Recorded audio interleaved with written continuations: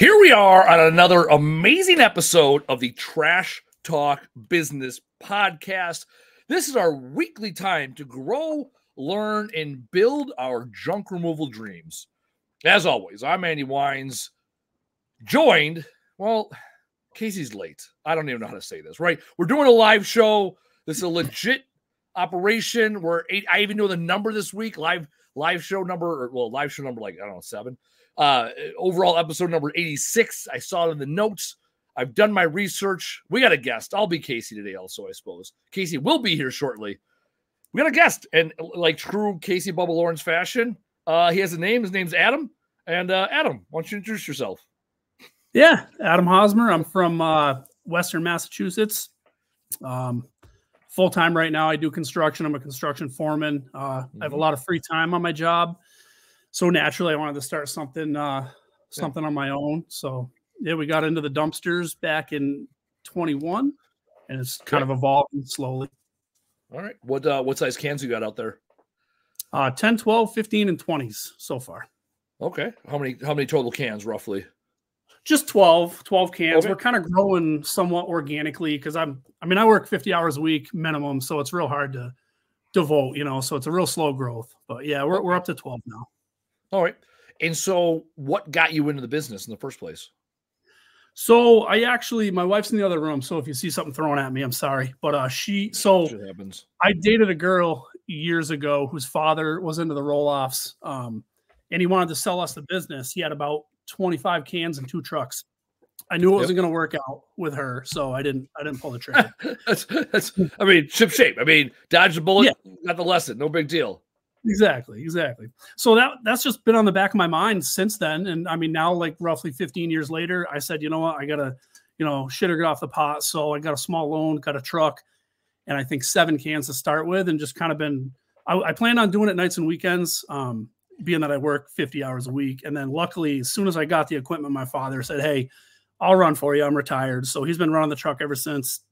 I just do, uh, you know, the logistics pretty much. Yeah, the back end. All right. Yep. And who, who are your primary customers? Mostly residential. Um, I try to stay away from commercial at this point because I don't have enough cans to support it. They want to hang on to them for a month, two months at a time, and yep. I'm not going to make any money doing that. So mostly residential. And then with that, do you give your what? What are your terms for your residential clients? Do you have a uh, t- tonnage or a, a time? What does that look like? Yeah. So for instance, with the 10 yard, just for easy math, um, the 10 yard I charge right now, I charge 405 for that. And that, that includes one ton of waste in that price. Um, in a seven day rental term. We are going up on our prices here probably in a couple weeks. And I'm going to go to 14 day rentals because I just, I'm not appeasing people with the seven days. So I got to bump mm. it up. That's pretty so much just, where we're at. Gotcha. So it'll be 14 days and yet you're going to add on, you know, 30 bucks a can or whatever for, cause you can't, you're yep. not be able to turn them as often. Yeah. Yeah. Yeah. I mean, and that, you know, the nice thing is you know, for for a lot of guys out there, they struggle with fixed versus variable costs. And your your model is very simple because your dumpsters have a fixed cost. It costs you so much to have those dumpsters, and it's your dumpsters are no different than tables in a restaurant. You're paying for that square footage, and when you have one dumpster that sits for five days, and another dumpster sits for five, 15 days, right? One is inherently worth three times as much as the other one because mm-hmm. it's it's constantly churned, and you only get paid when that dumpster is being dropped off or really delivered. I guess it's or, or dropped off or picked up. One of the two times you're getting paid, whichever, well, however you recognize the revenue, right? Um, yep. you you don't get it does not you don't get paid to have it sit there, and that yeah. is that is a uh, you know that that's where having a bunch of dumpsters that are sitting like you said commercial work where they got to sit for 30 days you got to have a, such a high volume of dumpsters that can sit because now you have a fixed asset it still depreciate the same rate, right? It's only going to last you eight years or 10 years, however long a dumpster lasts. And yet it's it's sitting there. And this is what one thing when guys often ask us, like, hey, is it better to have more trucks or less trucks? Or like, well, it, how often are you using them? Right. You got to the goal is to have the right amount of equipment for today and tomorrow, you know, not 10 years yep. from now. Cause then then all the only because the only thing that's going to cost you is is money, right? Because insurance and these other things go away every month, regardless if you use the mm-hmm. equipment or not. Exactly. Yeah. So what brings you on the program? What can we what can whatever case I say we at this point, what can me, what can I help you with? So yeah, naturally with dumpster rental, uh, junk removal kind of fell right into right into place um, without even advertising. Not a lot of it. I did a lot of you know odd jobs, little stuff, um, little demo jobs, um, and then so I wasn't really the dumpster company wasn't really growing like I wanted it to. So I had a lot of customers say, "Hey, do you do residential curbside pickups?" So I I, I pushed them off so much, and now I, I figured I'd start that to try to get some you know steady monthly income. Uh, so yep. we we just started up the uh the curbside oh, and oh there he is he's just making noise yeah um yeah so we so we started up the curbside um trying to grow that to a couple hundred customers i still work full time and i want to quit really bad um, so I'm hoping if I can get a couple hundred curbside customers, I'll be able to quit my job. And ever since watching your podcast, because I, I did the YouTube University for a while and whatever, a bunch of, you know, yes and no's on there. But watching your podcast really made me want to get into the junk removal uh, pretty heavy and make it kind of more of like the uh, the first line. So that's why I figured I'd jump on. Yeah. Did you uh did you get a chance to catch our live episode last week? I missed the live. I watched the week before, but I don't think I saw the last week. So last week it's interesting. A guy started with basically 20 accounts curbside, for, for lack of a better term. Five dollars five dollars a week for 20 yeah. accounts. That's how he started. And now he has 560 accounts. And he does curbside, which is now turned into junk removal. And he's like, I make more money doing junk removal. So he his his hillbilly math was simple. Monday through Thursday, I bang cans. Friday, Saturday, I'm, I'm doing junk removal. Sunday, I do paperwork. Like it, it, it yeah. that was his. You know, this is where people are like, "Oh, you got to kill yourself, work 80 hours a week." It's like, no, you can like. In him, he wasn't like he was like, I mean, we, we had him on the podcast on a Monday afternoon, and he had he's like, yeah, all right, let's get done early and you know be on the podcast. So it can be done. It just you you um, whether it's curbside can pickup, junk removal, dumpsters doesn't matter. You get to decide as the uh, owner of the company when and where and how you work. The challenge is, uh, you know, when you first start, you want to say yes to everybody for everything, and then then your company, then your customers might as well run your company. You know, a lot of people want to get into yeah. um, junk removal or they want to get into um, um, what do you call it, uh, business, whether it's junk removal or not, because they don't want to have a boss. And it's like, well, when you get into any uh, industry, you have a lot of bosses. They're called customers, and when you just when you let them oh, dictate your business, direction sometimes too. Oh yeah, yeah, they don't yeah provides right. Oh yeah. Anyways, for those of you guys listening, uh, Facebook, we're having an issue with Facebook, so it's not. No, we had an issue with my last live show. Facebook is not playing well with uh and down. It's been doing really bad. Yeah, it's not playing well. So anyway, so we won't we might not have any uh, uh comments or guests or watchers this week, and you know what? That's all right. We're gonna keep we're gonna drive on. You know, Casey was late. Facebook's down. You know what? We're still trucking. That's what we do. We control the narrative around here, not the other way around. Casey, Bubba Lawrence sure. joining us from the great state of Texas, wearing his Mick shirt from was that last year? Or did you go this year? Did you end up going to the Mick this year? I did not go this year. Same here. All right, the Mick, the Military Influencers Conference, unofficial sponsor, uh, and Jobber. Look at this. I wore my Jobber T-shirt. That's when you know the laundry's getting a little light, a little light on the laundry. Uh, I did. I actually went deer hunting this weekend, so I ended up uh, doing laundry late last night. But I already pulled this T-shirt out. I was like, "Fuck it." Doing the shows tomorrow. Hey, I'm gonna rock my Jobber shirt. Another unofficial sponsor, Gronk, Gronk Brothers. Why? Shaker. Why would you do that? That was that the one that was on uh, Shark Tank. Yeah, yeah. Chris is actually we're actually good friends. Oh, yeah. He lives like ten minutes away. Oh yeah, I was say you. Yeah, yeah, yeah. You were hanging out with the Gronks. Uh, man, we got a lot of sponsors. I mean, they don't give us any dollars except for Jobber. Jobber will throw me a few bones uh, when you sign up for Jobber and use the code uh, getjobber.com backslash camo crew junk removal. Just Google it, you'll figure it out. Otherwise, Taylor can drop in the link somewhere. Taylor's pretty smart guy. Um, all right, so I'll get Casey caught up real quick. Adam is got in the dumpster business, got 12 cans out there. Dad runs the truck, wants to get in full time, starts dabbling in junk removal. Uh, and then my question to him was, what can we do for you? So I guess Adam, let's use this as a. We haven't done a really good counsel in a while. Mm. You know, like like we did we, we did with uh well, we had Tracy. Two Tracy was dope. Questions on our last episode that came in after, right? Were there? But that's the thing is, I want to I want to get to those questions later on in this episode to answer for that for him. I forget. I think his name's Zach. But yeah, they come in pretty much after, I think. Oh, oh, so someone listened afterwards and then had a question. Oh, you're saying questions for Zach or questions for us? No, it was questions for us from episode 83. Let's, do, let's do it right now. That'll be our segue. Let's just do it right now, Casey.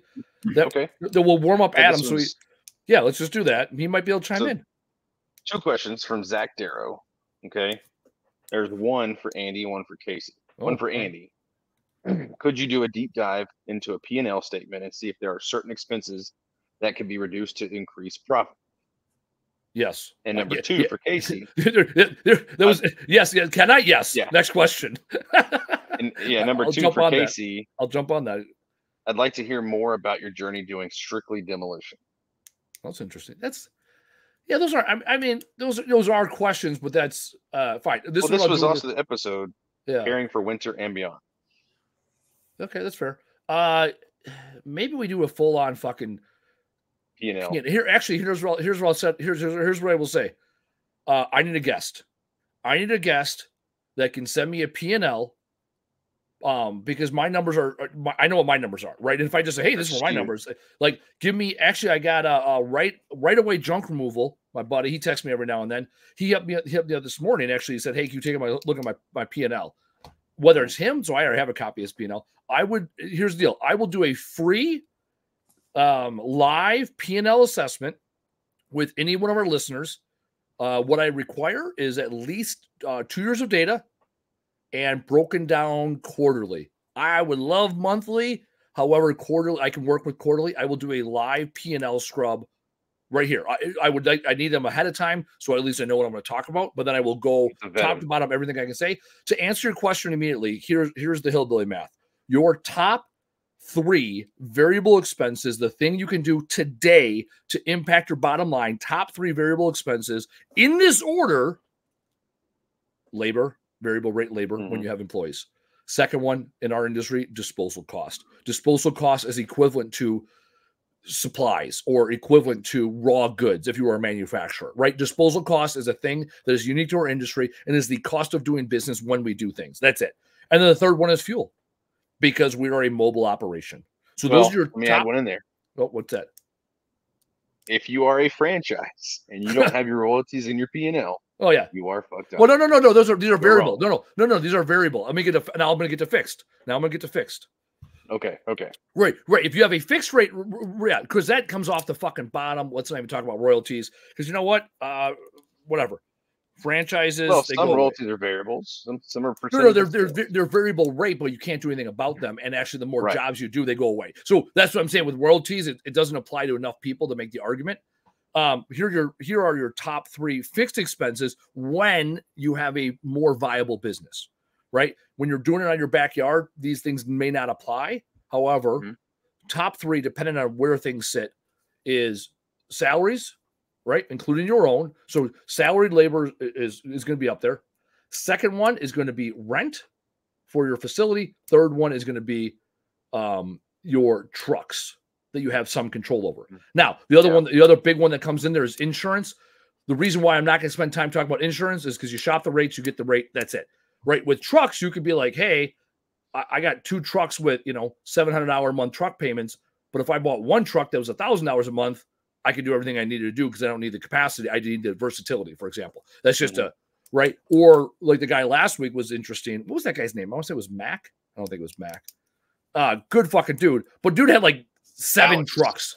Alex? Oh yeah. I fucking love that guy. He's like, well, he literally bought a truck to flip it and then it didn't work out and then turned it into a fucking kick-ass junk removal company. It's like And then he had a plan. a truck for trash cans. Yeah, exactly. And then, and then that same truck ended up trading for trash cans. Fucking, I'm like, this is why I tell people, right? Like, actually, you said something earlier, Adam. You said, I hope. And hope is not a fucking plan. I read about it in my book. It's better to have a plan that goes to shit than a hope of a result, right? You're like, this guy straight up had a, it was a shit plan. He even said it was a shit plan. He's like, yeah, I bought a truck and turns out it was shit and I couldn't sell it for even what I paid for it. So I started hauling trash with it because fucking it was already there. It's like, that was a terrible plan. And yet, he is moderately successful. He is a small business owner. He quit his fucking job and now he's bringing a guy on. So you know what? His plan was his plan was shit. And God was he successful. I I uh man, he was a good guest too because he was honest. I, you know, often we get people, I, I especially get this, whether it's removal or otherwise, they come on this program or or I meet mm-hmm. them in real life and they tell me all the wins they had. This guy was like, let me tell you how I fucked up. Let me tell you where I screwed up. let me tell you how this didn't work out for me. And it was like, yeah, he he said all the things that most people always say to themselves. Anyways, it was a good show. And then Casey, to your question about diving deeper in a demo, that we know we can do a whole episode on that. We know we've never had a demo contractor on, like a no shit, that's all they do person. Well, we we had that one guy who was moving from Tracy. No, he was moving from I think Minnesota or Montana to Washington State because of his oh, because a girlfriend, and he was gonna he was gonna open up a new junk rule business in yeah Washington, and I was like, let's do a quick Google search, and we like did a quick Google search of his area, and it was like everyone had a junk rule Sa- saturated, and I'm like, and you kick ass at yeah. demo. He's like, yeah, I was like, yeah, you should stick with that. Stick to it. Yeah, yeah, yeah, you're right. But he that was a yeah, that was a commercial demo. I, that guy was fucking dope. That was like a cool dude too. Damn. I can get my, my my old sub who took over my my client list. I can get him on. That'd be That's all he's doing now is residential structural demolition. All right. Well, now we have a guest on, Adam, and we we filibustered enough for you to come up with some questions. What do you got for us? Oh, I got nothing. Nothing. nothing oh, as yeah, no, I got no. I was, saying, I was saying you better have something, otherwise this is gonna be you you just listen to Casey and I bullshit for 45 more minutes. no, um, just to piggyback off what Casey said or, or that that other uh, commenter, I'm interested in the demo thing. So we, hmm. so I work with a lot of good operators. Um, and when I get a job, you know, we've done some small demos, cabins, uh, stuff like that, and I love that. I think it's great. I don't know much about it. I seem to come out on my pricing. I want to say it's like a lucky thing. We do pretty good with that. So I'm I'm def interested in the whole episode of uh, of demo. I, I really like that. And hmm. honestly, so I'm pretty rural around here, and I see more of almost like a special uh Western Massachusetts. Okay. Yeah, I'm in. I'm in North. Wade Rivers. Wade Rivers lived out that way, didn't he? Mm-hmm. Yes, I think. You so. know him? You know? don't? You know Wade? No. No. Shout out Wade. Because uh, he wasn't. Well, I guess then again, I, I, this is how ignorant I am. Never been. To, I didn't mean to cut you off, Adam. I'm sorry. No, no, no I, am Northeast. But I think of uh, Massachusetts is Boston, and then everything else is Western Massachusetts. Like, right? Like, dude, but, like, that's it, right? Like, there's not like a I'm in Central Massachusetts. Like, it's not that big of a fucking place, you know. Yeah, no, even Central Mass is is Boston, pretty much. Okay, okay, so okay, so you're Boston or bust. Like, that's it. Like, those are your options. Okay, so he was a yeah, not Westfield. Boston guy. Westfield, right? Westfield. He lives in Westfield.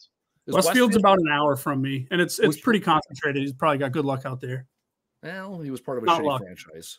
Yeah, not yeah. luck. And he was part of a shitty franchise. Now. Great dude. Yeah. Air Force guy. Anyways, all right. I digress. You want to learn about demo? You got some good contract or good operators.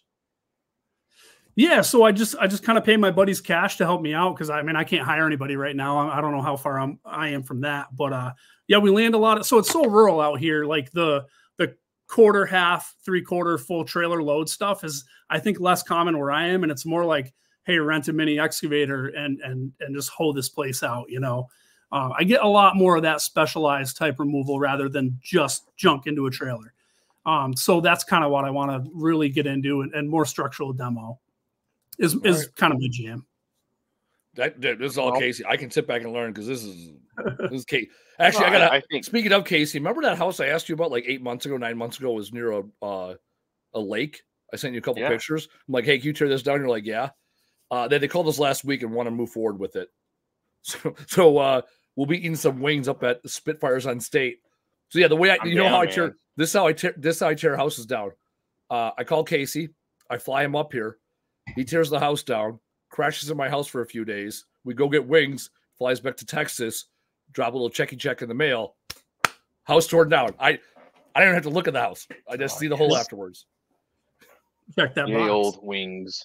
So so the good thing about demolition, I'll tell you this right now, is you know, a lot of people get intimidated by it because yeah, when you go knock a house down, there's a lot of moving parts, not just the machines, but how does it fall? When it does fall, what are you going to find?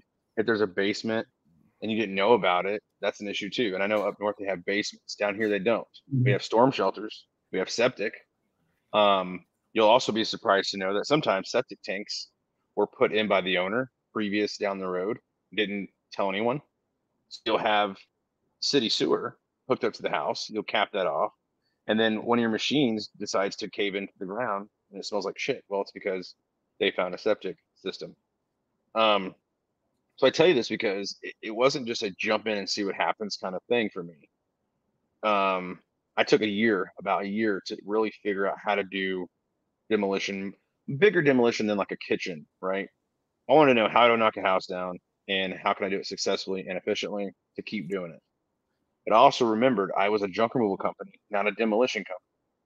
So it really helped that I could not have to rely solely on demo projects because at the time, you know, I probably had 13, maybe the most in one year when I was junk removal.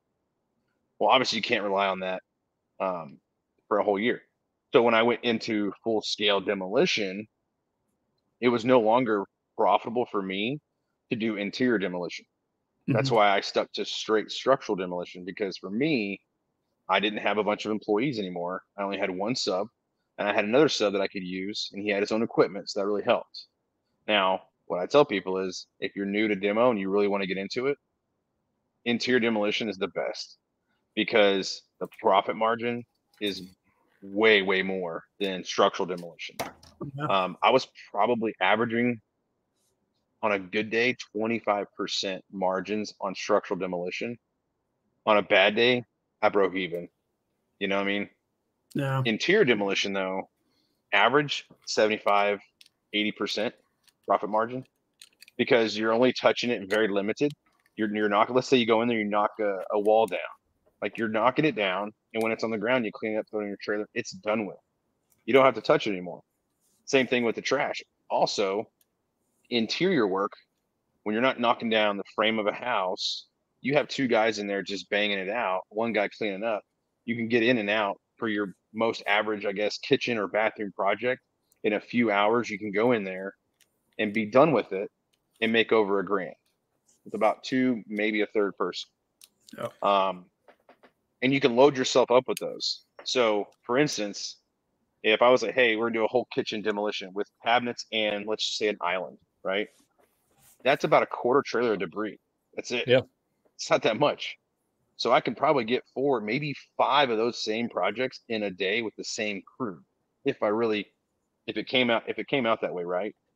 Yeah. So when you're out there and you're looking at these houses, I- I'm not sure where you live. You said it's rural Yeah. but I will, very. I will I'll take a shot in the dark and guess there's probably a, a lot of old barns, horse stables, stuff like that, maybe that the weather got to them and Oh, yeah. just an eyesore.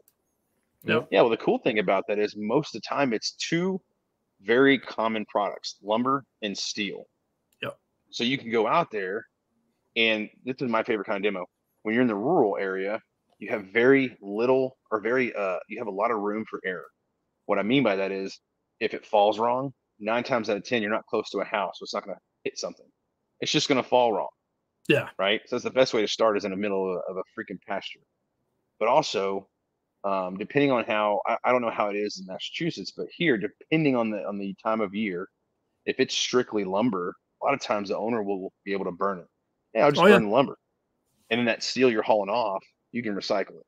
And the cool thing is you're still charging for everything. Yeah. So a lot of times in junk removal, Andy can probably back me up on this. Everybody wants to do everything. They want to Mhm. haul everything away. They want to touch everything. I started realizing it. I'd rather just get paid for my labor if, if that Mhm. was a, an opportunity for me. So if someone's like, hey, I need this taken care of, I'm going to get rid of everything myself, but I'm going to pay you labor. It's perfect for me because now I don't have to tie up a truck and trailer. I can just send out two guys or three guys, get a machine, get paid my labor rate, which is a huge profit margin comparatively to junk removal, and then move on to the next job. Yeah. Well, demolition's similar. Yeah, I got I got a I got a project coming up uh week after next. Uh, it's two thousand Yeah. tires, and Yeah. I'm not tr- I'm not trucking them because my little sixteen cubic yard. I mean, my dump trailers are twenty four cubic yards. Um, Mm-hmm. I ain't I ain't messing around with that. I'm gonna load up fifty threes, fifty three foot semis, Probably fit about or or forty. tires in yours. Yeah, probably. Yeah, exactly, exactly. So, or it's two 53 foot semis, right?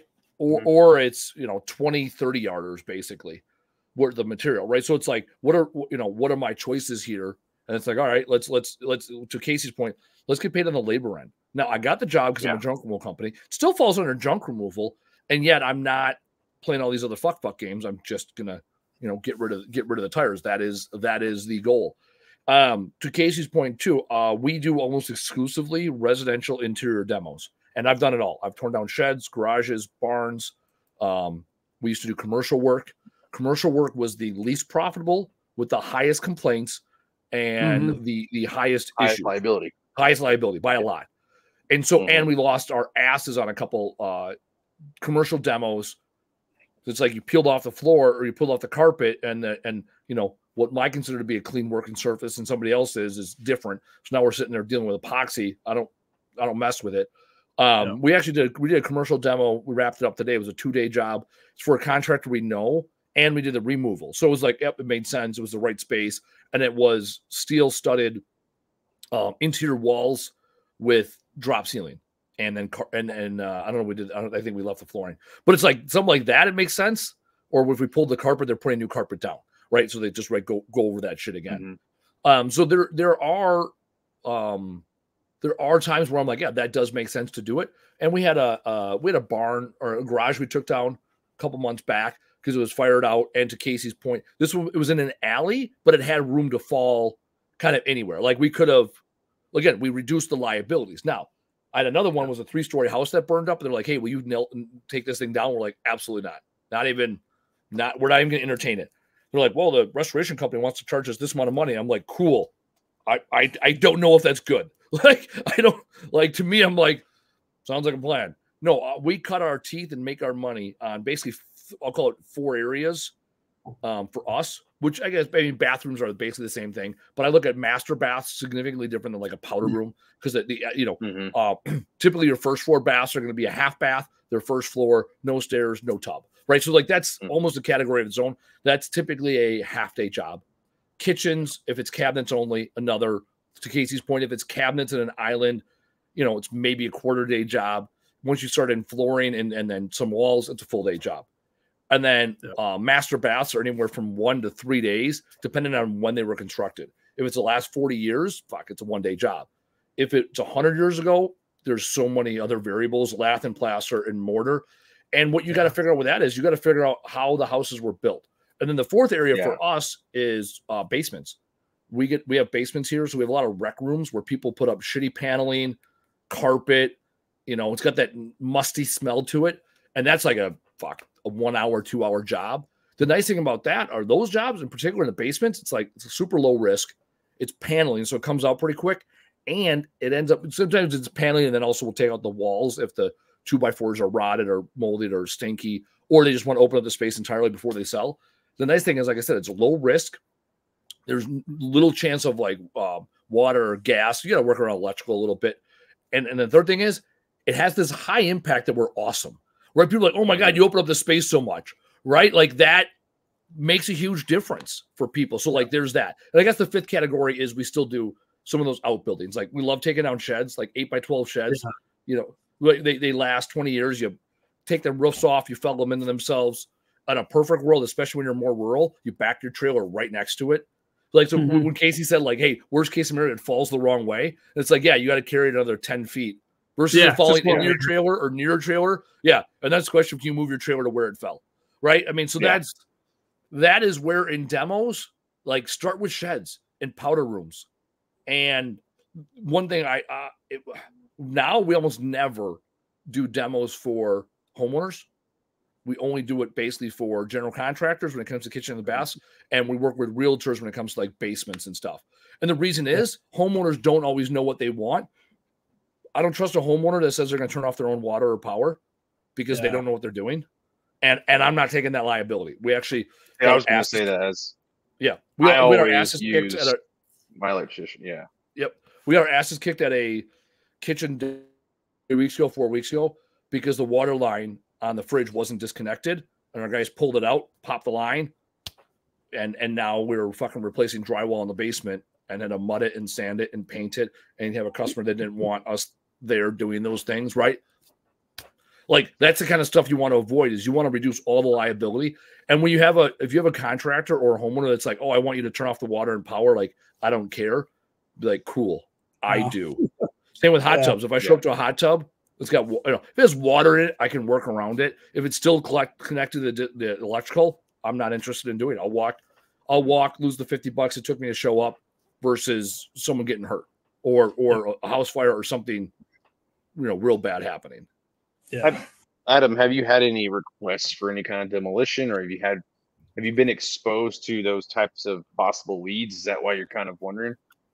Yeah, so I mean, a lot of them come with property cleanouts. Like I'm talking like hundred acre property, you know, something that's been mm-hmm. alone forever, party spots. Oh, you know, so, yeah, they're awesome. Those are my favorite ones, and I, I make good money doing them. I've only done a handful, but they've all they've all paid out huge.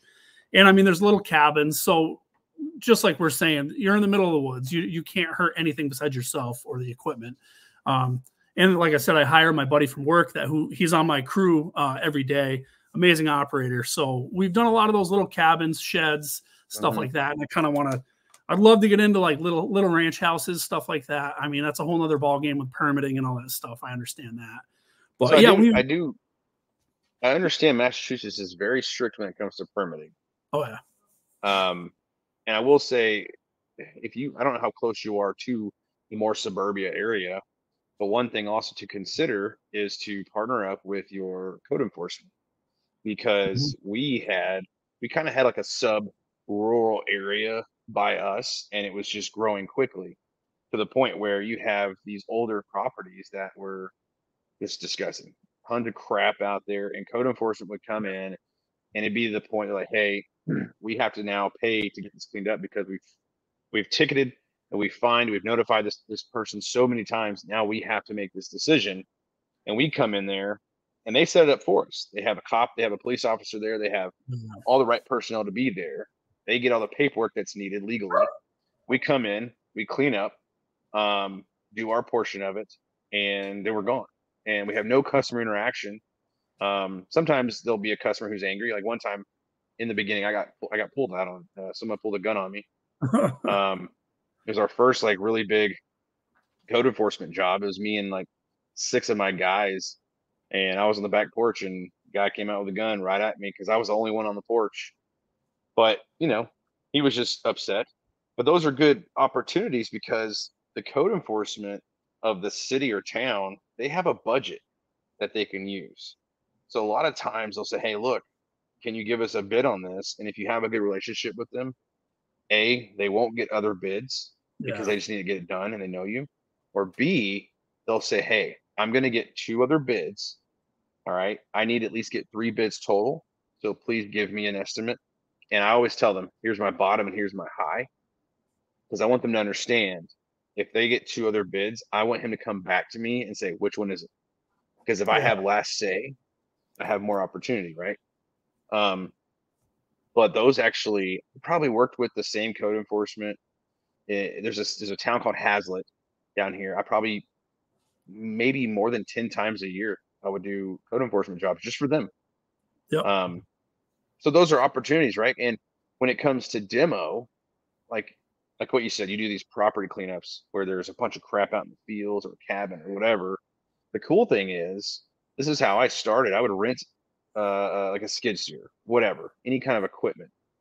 And if I thought the job was going to be a two day job, I would rent it for a week. Okay. Yeah. I would build that price into my pricing for that job. That way it's paid for now I have an extra four to five days, maybe even the weekend with this machine because they usually go off of hours. So then what I'll do is I'll try to get another job for that machine because now it's paid for. You see what I'm saying? Yep. Um, and a lot of a lot of these rental companies, they will charge you like 75 bucks to move the machine. That's it. So you, yeah, well you can't even it. move it yourself. It's worth it. How do you think Andy saw my yard? I had an acre yard and I put down crushed asphalt road base for the whole yard. And I used this big 50,000 pound excavator. And everybody's like, oh, well, you just had one. I'm like, no, I pulled it off a job. I paid 150 bucks to get it moved to my yard because it was sitting on a job that had had a brief pause. I had it to my yard, did all the work I needed to, and then I paid another 150 bucks to move it back to the job site. So I pretty much spent 300 bucks to use that excavator in my yard. So if that was a job, that would have been three hundred dollars to use on a job that I'm probably charging five grand for, for just that yep. machine. Yep. You know, I've done that a couple times. We so I got a rental company out here who's he's a pretty good buddy of mine, the owner. So we get pretty much anything up to like a 307 cat. Um, and I try okay. to do that. I try to throw in a couple days in a job, and then we have 97 acres up here in Northfield, so there's always work to do here, uh, clean up because I'm a pack rat as well. My wife hates me for it, but like on the recycling end, I I just brought I just tore down a silo the other day, and all the metal hooping around it I took home. It looks like shit in the yard, but then I you know I bring home an excavator for a day, throw it in dumpsters, cash it in or whatever. So that's sounds like Andy's playground. Yeah. yeah, I live yeah, no, I uh the thing is at my house, I I, I don't have shit because I, I live uh I don't know, not to say modestly. I, I have tons of shit in here though. Oh yeah, but yeah, yeah. Well, the first house. The first house. Um, um where you burned ba- the pianos. That that was an that was another incident. We had I had a one and a third acre, and at one point when we had to finally leave that house. They're like, we gotta get rid of the wood pile. We're like, ah, just get a 40 yarder. Uh, three forty yarders later because the wood pile just yeah oh man i had i had i was the guy that department of neighborhood services was coming after because i'm like oh i'll just take care of it later right? Actually i told that joke i was telling that joke yesterday. I played when i play volleyball i tore up my rotator cup. Is it is it your rotator cup or cuff cuff with two F's. it is cuff see that's weird i always want to say it cup rotator cuff. anyways i tore my rotator cuff like three weeks ago and it's starting to get a little bit better now and uh, I was joking with my girlfriend. I was like, "Yeah, fucking shoulder hurts. I won't be able to sleep on it tonight." You know, after volleyball. She's like, uh, "Why do you keep doing that to yourself?" I'm like, "Well, it's tomorrow's problem. Today it was awesome. I got to hit some volleyballs, right?" And that's right. junk removal. It's like it's it's our uh, or like when uh, Homer Simpson. He's like, "We had a variable rate uh, uh, home loan," and they're just like, "Yeah." You're gonna pay this off in the future. He's like, this isn't the future. This is the now. Like the future is this magical place that happens in the distance and the problem with junk rule guys or people that have this knack is everything seems like a good idea, right? Put in the back 40 and then it's got value, but every second it sits there, it loses value. So yeah. I live on a farm now, and my dad has the whole reason we bought the farm was because originally I was going to clean it out, and then instead I just told him I'd buy it as is. We cleaned it out entirely, and then my dad proceeded to fill all the space with his stuff now. So eventually, I will have to uh, uh, adjust that. And uh, not me, my warehouse. People are surprised how clean our warehouse is because we are constantly churning because there's no emotional attachment to shit. Um, now, once it makes it in the conference room, like I found this dope ass fucking uh, milk jug today when I was walking the warehouse. Now it's in the conference room. Now there's an emotional attachment. It's fucking awesome. everything else in the warehouse is everything else in the warehouse has got to go. You know, we got to churn it, and that's that's where the downsides I see in this business and it's one of the things I saw 15 years ago when I was first getting in. I uh, was interviewing for a job with this company that did, I don't know, just uh, home cleanouts. And they had probably a 12 foot trailer told behind the pickup truck, did it on nights and weekends. And um, they took me to their storage unit and they had a storage unit that had all these knickknacks and shit, precious moments and stuff. I remember. And they're like, oh, this stuff has value. It's like $20 here, $30 there. And they're like asking me for consulting advice. I'm like, well, how much are you paying for the storage unit? They're like $250 a month. I go, well, how often do you have sales? They're like, oh, we haven't had one in two months. I'm like, okay, what, what, what, well, even then, I was like, why don't you just donate it? You know, that is one of the downsides with junk removal. It's like, you, you when Casey talked about this earlier, you got to be disciplined about, about about what business you're in, right? If you're in the dumpster rental business, that's the business you're in. If you're in junk removal or you're in demolition, that's the business you're in. It is very, very easy to get distracted by these other things that are next to you. And that's why I even say with demo, it's like the big companies I see that do demo, they run tight fucking thin profit margins because they have yeah. to win so many fucking jobs. Like, and that's how I'm in junk removal. I, I, I got we got seven, seven, 17, 18 guys on payroll right now. You know, it's you know mid-November coming into the, the winter here. 17 guys on payroll, 11 trucks. Like I have to churn it, right? My profit margin shrinks because I have to book jobs. So yeah. Chuck in a truck can underbid me because he doesn't have to get the, the price that I get because I have, yeah. you know, we're talking about variable versus fixed expenses. I have very high fixed expenses. You know, 20,000 square foot, 11 trucks, couple salaried employees. And that's the thing with demo. It's like the guys that are small, they're the ones that have the higher profit margin. So for us, we have a small demo division within our larger company, and that's how we stay where we need to stay. Yeah. We basically have three divisions within our company.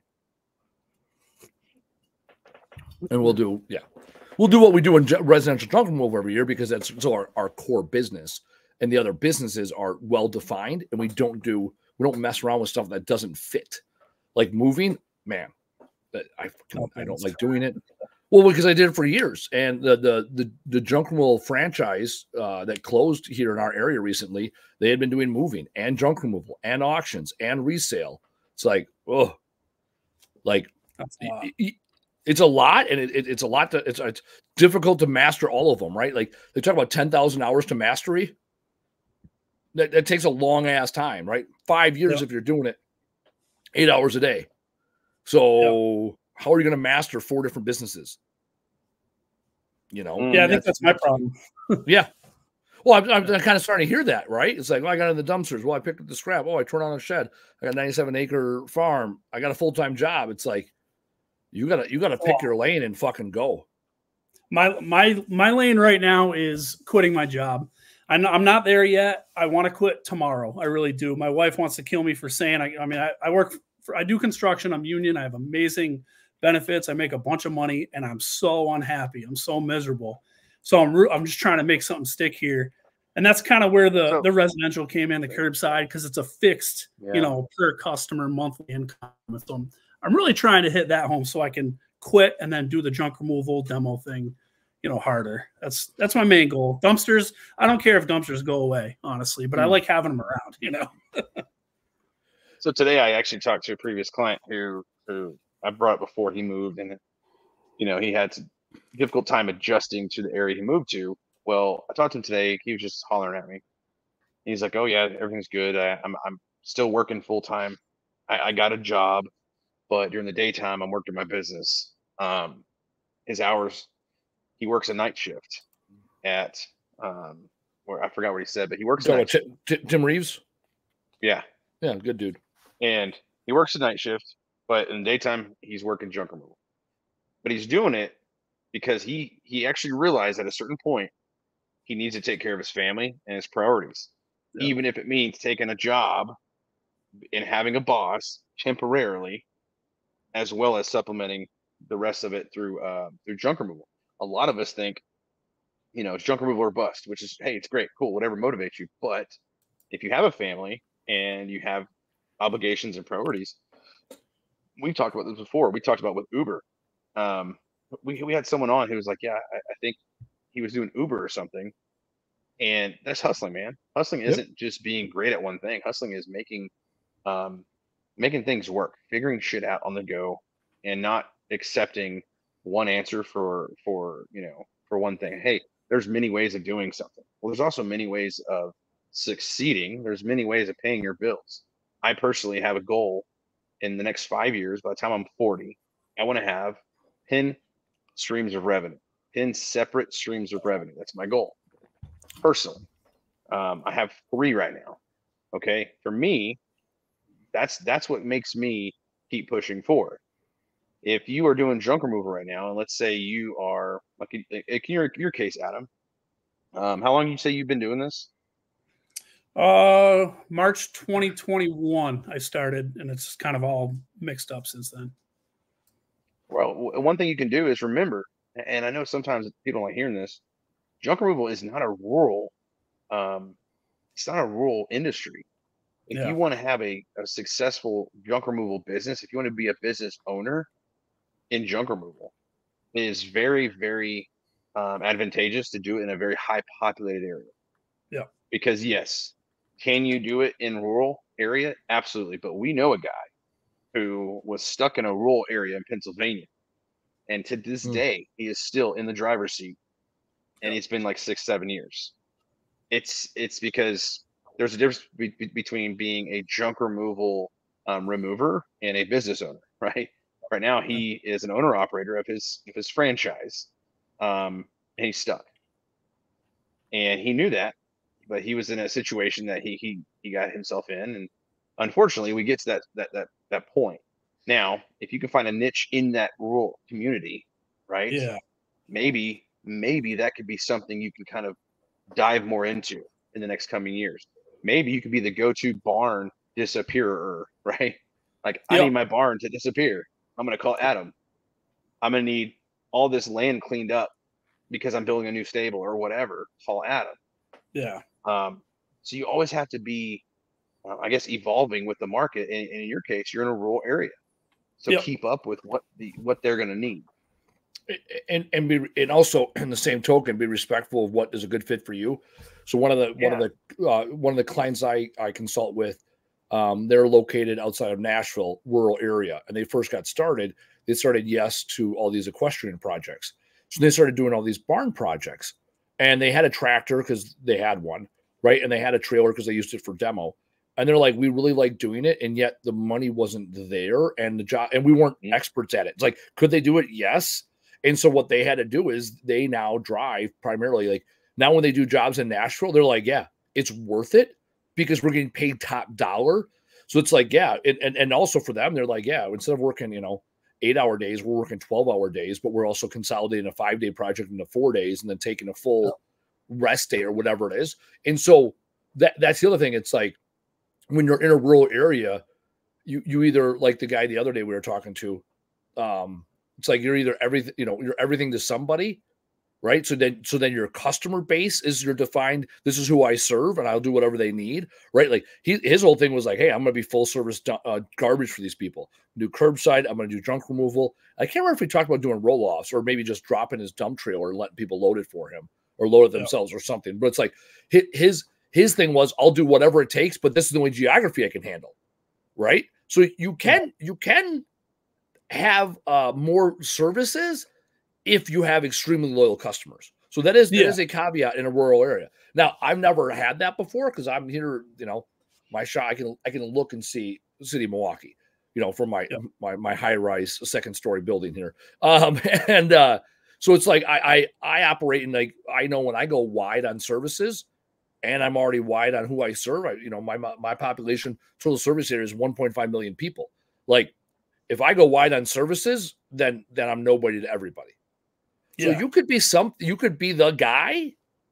Um the challenge is you can't have anything that's going to require a lot of skills because you're not going to have the you're never going to have the paces and and then also you got to remember as you scale this business you got to bring guys in and they already don't have the same skill sets you have they don't have the Yep. relationships you have and so that is already problematic because whatever you teach them is going to be diluted to your customers Yeah.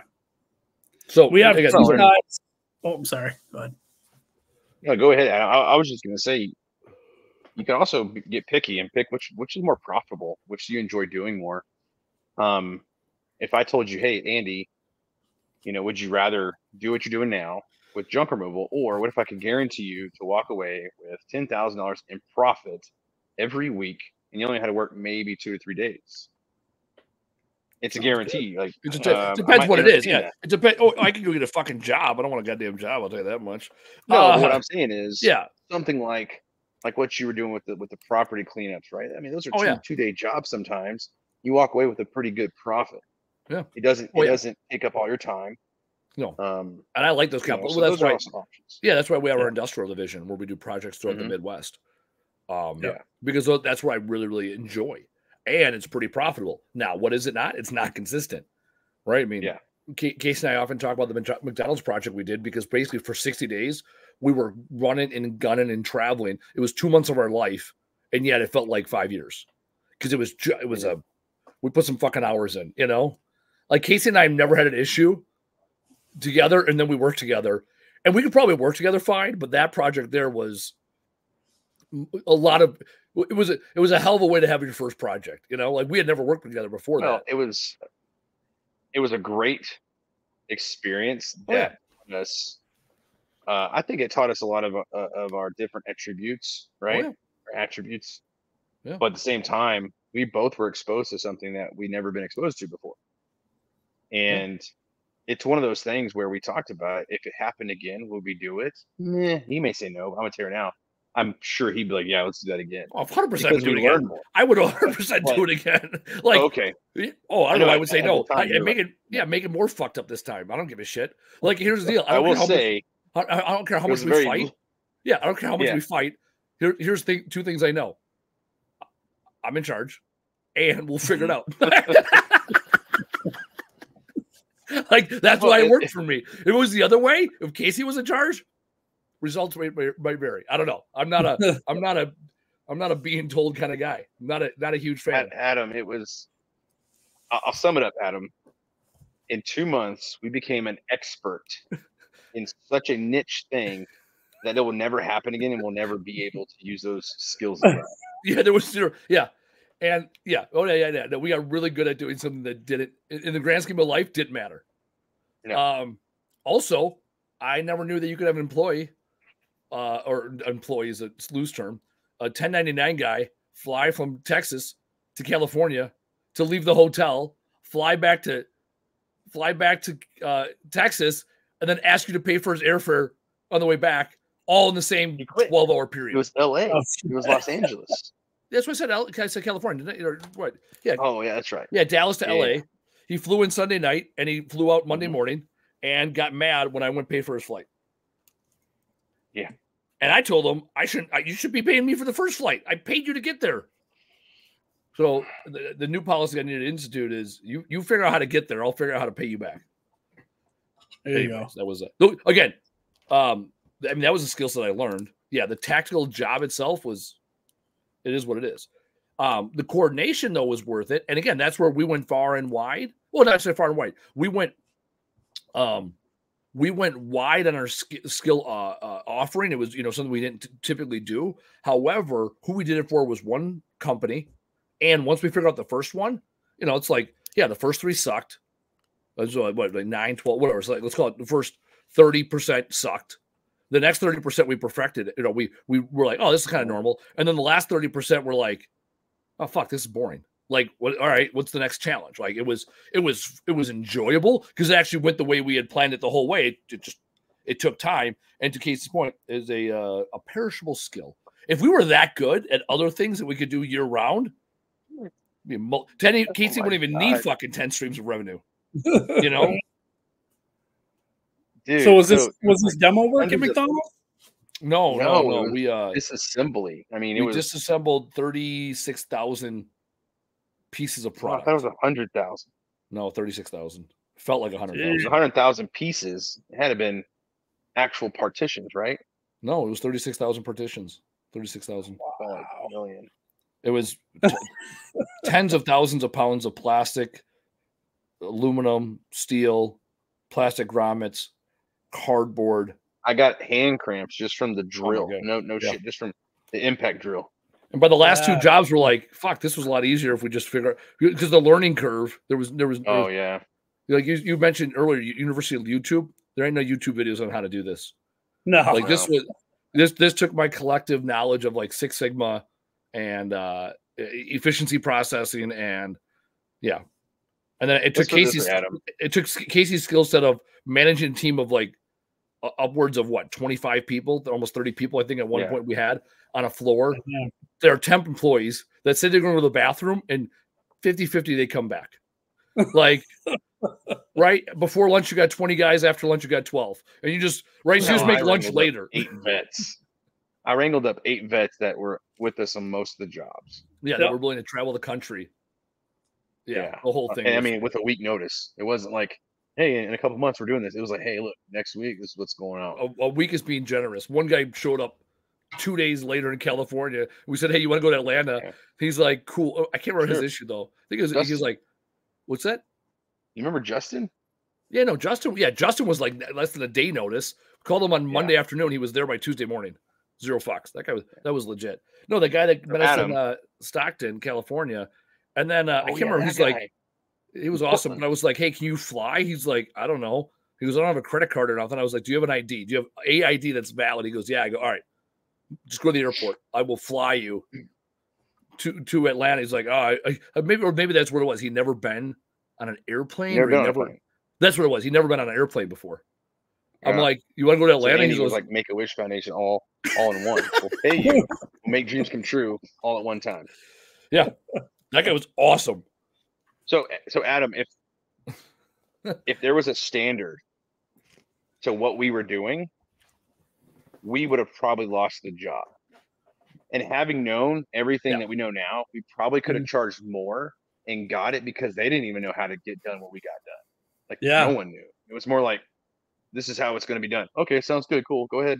damn it, Yeah, I should ask for way more money. Oh yeah, and and when we had such a high fucking number to start, it looked like a really high number, and and until, well, again, it, wor- wor- worked out. It, it ended up being Oh, yeah. profitable, but um, There was just Yeah. no, like he said, like you, there was no video to, hey, how do I properly disassemble this the most efficient way? It was like, uh, throw it in a shredder. I mean, that's pretty much it. yeah, really.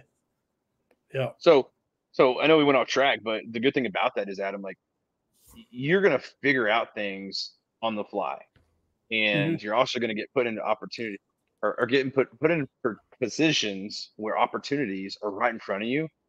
And a lot of people, this is what I don't like about America these days. It's so easy, like, oh, I wasn't given the same opportunities as everyone else. No, that's kind of bullshit. Yeah. Like, you were, bull- you just didn't entertain them, right? Mhm. Yep. Um, Andy gave me a week notice, pretty much. I mean, I was I I was already on my way out of my my franchise, and I went up to Chicago to meet him, saw what he was doing, and I was like, okay, when's the next job? And he's like, look, man, it's next week. it's And I in was like- Texas. I already got you scheduled. Yeah. so you know, it was it was a lot of trust. Obviously, I knew Andy. I wouldn't have just done it, but there was a lot of trust, and I knew what I was capable of. Right. So I entertained that opportunity, and at no point in time, and you can ask Andy this, at no point in time was I ever stuck to where I couldn't call it and say I'm done. Like I could have at any point in time. Oh yeah. Um, there was shit. There was times we talked. There was times we talked. he kicked he kicked me out of a warehouse one day because I needed to be kicked out of a warehouse one day. He, he literally says, "Go back to the hotel room, open up some Excel spreadsheets, and figure the figure out what you need to fucking figure out." Because yeah, me me I, I I am not a and I've done it in the past. I, I when I worked for Waste Management, I ran a ran a floor, a production facility. We we process medical waste. Not me at my strong suit. I am better at the Excel spreadsheet, setting the vision. Someone to go. Uh, some. That's why Casey and I work too. It's like I, I had to get into business with my brother, and I didn't realize he, my brother was the execution guy, was the vision. And then when my brother got out and I got back in, I'm like, oh, I need someone that can execute because I can have the ideas, I can win the contracts, I can I can develop the plan. As soon as the plan's developed, I'm kind of the fuck over it. Like go out, you know, do a little R and D and then execute thereafter. Um, Yep. Yeah. and with you, it's like at first you're Adam, you got to go out and just execute a bunch of shit, and then figure out what actually really motivates me. Like your your overall thing is not having a boss. Awesome. Like I get it. I don't want one either. Or or job. I get it. And yet you still have to have a plan, right? Because you said at the beginning, I want to. I, I hope to not be working here. Well, what's the plan to not work at your company? Yeah. And when you write it down and you start to actualize it, right? A plan, a not written down plan is a thought. It's nothing. A plan once it's written down, it's something, and at least you start to execute on it. Like we talked about the guy last week. His plan was to buy a truck and flip it. He bought a truck. That was the plan, and they turned it turned into a junk or a trash company because he had a Yeah. plan. That's the thing with you. You got to write down a plan, and then also to get buy-in from your your um, strategic partners, i.e., your wife, right? They got to have something to chew on. Like I, I remember that from Casey. We started doing the McDonald's plan. He's like, "All right, so what's the plan?" I was like, "Oh, we'll just figure it out." I got, I got like because I had done all the data, all the research. He's like, "Yeah, yeah, but what's the plan?" I was like, "We'll just go there and figure it out. I've already done it." He's like, "No, I need to know what the plan is." Right. And so once I communicated the plan and I brought him into the planning part, it was good. And then he got to the jobs or he got to the job sites. He's like, this isn't going to plan. I go, yeah, I know. This is what like we, we had a plan. It went to shit. Now you know what to adjust. Yeah, we had a plan. And and it took him, I don't know, probably would take you case two, three job sites where you're finally like, okay, our plan has got to be a hell of a lot less rigid. We gotta Yeah, like dude, for instance, I mean, two things that pop out, two things that stick out. One was equipment. We our original plan was for some reason to buy all new equipment everywhere we went, right? Like drill sets and shit. Then we Yep. figured out, oh, it's actually way cheaper just to carry it with us on the plane and and fly it to where we're going. yeah, because we, had- we had a bunch of stuff you couldn't put on check bags. Yeah. Yeah. Yeah. And then another aspect of it was at first we were paying for hotel rooms, Hmm. which was stupid. And then we switched to Airbnbs. Why not house everybody together for one flat rate instead of paying everybody's stupid hotel room? Right. Yep. So those were two things you learned right when you started it. But Yep. that that's how it goes, man. That's small business 101. And, and I was going to tell you this before, but you are taking a commitment, and I want you to remember this even in two years from now. Let's say you're you're just killing it, but you're maybe you're you're having a bad day. You're you're taking a commitment now to say, hey, I'm better than just being an employee. I Mm-hmm. I want to be my own boss. I want to have the freedom. But in that, it requires there's no on or off switch. You're not going to just Mhm. clock in and clock out. You have to earn boundaries. You can't just set them. I know it sounds Yep. crazy. Oh, I'm my own boss. But if you want to be successful, you have to earn those boundaries. You can't just And, jump and in you ha- and you have to "Done." set them. You also great. You have to You earn them, have and then you have to set them. Because Yes. me, I earned them, and I never, I didn't set them for years. I didn't set them, and then be, Yep. then my business owned me. I didn't own my business, and now Yeah. I have clear Yeah. boundaries. I tell people what my boundaries are. Like uh actually, Casey, all of a sudden, Carolyn called me last Friday. I was training our new ops person, Mm-hmm. nine fifty nine in the morning, and I was like, "All right, something's fucked up." I picked up. I was like, "Hey, what's going on?" And she goes, "Hey, do you use Calendly?" And I'm like, "Yeah, that's you know to book that's a way to book uh, uh appointments with people." And we talked for like ten minutes about because she wants to bring it into her sales company, whatever. Like we talked pure ten minutes. Like she was calling me not as her boyfriend, she was calling me as a, a business, you know, a peer within business Nice. Yeah. right for advice because she's like, I watched a bunch of videos. I just you already use it. How does it work? Like, what are the downside? What are the mm-hmm. pitfalls? What's the push am I, I'm gonna get for my sales team? Right. And it's like, okay, cool. Because we have a very clear boundary that works great for us. We don't call each other during the day. Not once do, do I talk to her on the phone before 5 p.m. ever, unless there's something significant. Like we got to figure something out that we already knew about. Fine. Right. There's other people where they're used to hearing from their spouse throughout the day. Like that to me is so fucking foreign. And I had an ex that wanted me to call her two, two, three times a day. Yeah, it- that didn't happen. Oh, that, that goes in the beginning. That's, that's communication, right? So Yeah. set that boundary, right? And say, I mean, I, I'm assuming you're married, right? Yep. Yeah. Okay. So me and my wife, we were used to talking more often than none. But there was also times when I was in drunk she knew if I didn't answer my phone, I wasn't dodging her phone call. I wasn't hanging out with her chicks. Yeah. I was probably cleaning out a garage or I was probably in the attic. You know what I mean? Like I was, Yep. she knew, she knew I was productive in, in being too busy to answer or whatever. So then after that, I had to kind of reestablish because in the beginning of my second phase of, of life business, there was a lot of chasing and, and getting business to where I had no really, I didn't have a lot of opportunities. I couldn't answer the phone. So I had to say, you know what, in between these two hours, like text me first. If it's important, obviously I'm going to call or I'm going to answer. But if I miss your call, I feel obligated to call you right back, no matter what I'm doing. And it created stress. And so it's one of those things. Set that boundary, earn it though. You know, when it comes to, I want to be off weekends. I don't want to stay up till 11 o'clock doing business plan bullshit. You got to earn that shit first. Yeah. Yeah. Absolutely. And That's- you cut it that's off. a big You say we're uh, great. You're, you're like, you know what? Plan one night a week that you don't do business. You're home by five. You have dinner. That's the one night uh, I don't fuck around. That is the night. Every other night Yep. it's 8 p.m. And then here's the deal. You can always justify sitting in front of the computer later. But if you're like, hey, you know what? 8 p.m. I'm done. Whatever the rule, whatever your rule is, you leave. And if you don't get the shit done you need to get done, guess what? You didn't get it needed done. You didn't need to get it done that bad, right? Or you need to be more efficient because when you don't have that family support and that foundation, right? Maybe it'll start at 10 p.m. Oh, I remember being at the shop till 10, 11 o'clock at night, my first six Yep. months, right? Yep. And then you dial it back to, you know, nine and then eight. My rule is I don't take my laptop home during the week. I do take it home on the weekend, so I have it with me. I don't take my laptop home during the week. I know if I leave here with my laptop in hand, I will go home and I will work, and I might as well just stay here at the Mhm. shop because when I'm working from home, I don't get shit done after 5 Yeah. p.m. Now, if I stick around the shop here for a couple hours, I can fucking I can crank. I get some shit done, you know. and I don't have anybody at home waiting for me most days. I just know I need to do it mentally. Otherwise, I'm gonna sit in front of my computer and then what I do? I'm gonna wake up in the morning, go right back to my computer. I stepped on something. Anyways, all right. We've just been talking about random shit. What other any other questions or concerns before we uh before we hop off? It's been very Oh man, I don't know. I mean, we covered when to leave. Um, what else I got in here? I don't know. I kind of.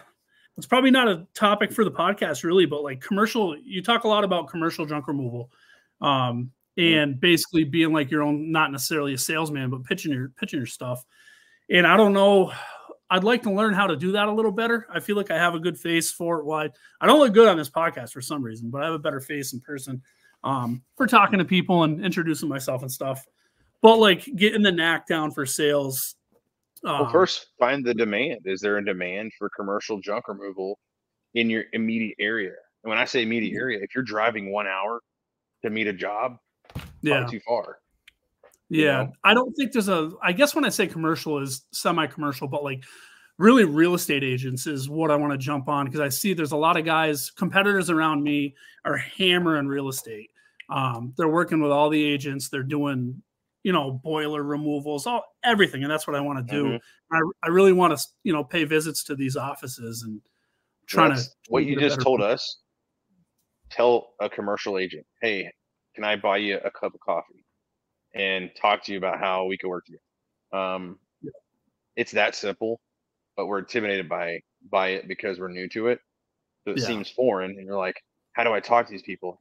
I, have said this. I don't. I don't know how, many times. The best salesmen in the world never have to sell anything nope. because they just rely on, on their relationships.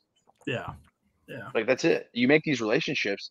You're not going to have to pitch them. Nine times out of ten, after you know someone enough, they'll never ask how much it costs.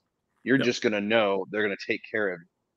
So when you get to that point and you meet these agents, whether they're commercial brokers or not, take them. First of all, all agents love free stuff. Take them. Yeah. I'll buy you a cup of coffee. They're going to show up. All right. It's free. And then maybe take it a step further. Hey, do you have an office nearby? How many people are on your team? Oh, we have 15 agents on our team. That's awesome.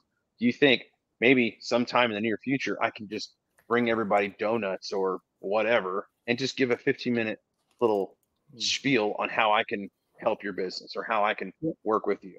Right. I mean, Andy's done that. I've done that. Don't, and now yeah, you start getting in front of these. Don't make agents. Correct. Don't make it overly complicated. Have a plan. Yeah. The plan doesn't have. That's the challenge. People are like, either they don't have a plan, or be, or they have a plan that's super complicated. My plan for yeah. real estate company is real simple. I walk in. I talk. I ask. Right? Is there a sales manager I can talk to?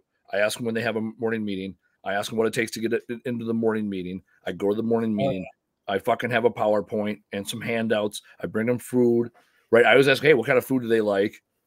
And then, and then I follow up, you know, a week later. Hey, how was it? Any other questions that need to be asked? I, you know, if I can get it on their distro, they won't give me the typically they won't give me the agent's um, contact info, but I can send it to the office manager and maybe they'll push it out a PDF. And then yeah. I move on to the next fucking real estate company right? I don't yeah. just like, oh, I put all my eggs in one basket. Now I'm going to wait. No, I move on to the next real estate company and the next one and yep. the next one and the next one. And then once they call, I fucking slay it and I figure it the fuck out. Yeah. Yep. Hell yeah. I like that morning meeting thing. That's, that's tits. Yeah. yeah. Shit. I don't know, man. I'm just, I just wanted to hop on and kind of learn. I've, yeah. I've, I think I'm up to 82 right now. So like I said, I'm a foreman for construction and I, I have a lot of time on my hand in a truck. So I just I throw them on and listen all day. So yeah, I'm learning a lot, and I figured I'd hop on and see what you guys had to say, and yeah. keep listening. No. All good. All right, let's go around the horn. What uh Casey? What your top takeaway from today? Man, my top takeaway is, um, I guess just just you know we talked about so much. You're right. We we, we talked about a lot of random randomness. I would say attempt attempt too much. I guess um, I don't like saying try because then Andy's like, "Oh, try's not a word." But do do the fucking thing. Do do a few things yep. until you find what what works best and what you like doing best hmm. or most, because that's really going to help you. You could get into this and absolutely hate it, and in two or three years, be like, "What do I do? I'm stuck. I hate what I'm doing, and I don't know how to get out because it's, it is paying my bills." Or you could f- find out in like a month or two that you don't like doing it and just not do it. Like Andy doesn't mess with demolition. He's yeah. like, I'm good. I don't want to take the time and learn it because I'm just not interested in. Yep. Yeah. Right. I'm I'm the same way when it comes to other things. Like, I don't want to mess with it because I'm not that guy. So that's my biggest takeaway is just do a few things until you figure out what you like doing the most and how you can best do it. Yep. What was your top takeaway, Adam? Oh well, they kind of my top. I would say a, a niche. Find a niche. Um, and also my other takeaway is to be that guy in town that everybody you know wants to call for stuff so that kind of fights fights the niche as well you know it's like yep. do one thing really good point. Yeah or, or do everything for a small group of people um halfway good you know no i don't want to say halfway good but yeah no, pretty much be, be, reliable and it goes back to what casey said relationships right mm-hmm. uh my my top takeaway was a theme throughout because you said it from the top hope is not a plan Start yeah. with a plan and adjust because when you have a plan, you have a desired outcome. And then when you adjust your plan, you can also change your outcome. A lot of people yeah. fail the plan and then they, they have no idea whether they're successful or not. And when you have a plan, you have a desired outcome, and then your plan goes to shit, you can change the desired outcome. You can change the timeline.